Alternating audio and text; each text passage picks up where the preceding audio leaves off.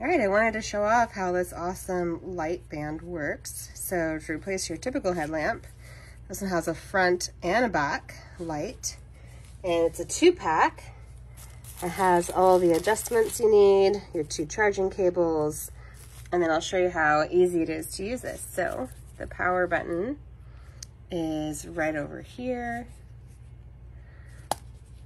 in the back, and you just push it to change the different settings. And then um, this is where you have your battery pack inside of here in the back. It's not super large and you just recharge it by plugging in your cable right here with the micro USB. Super simple and awesome and bright.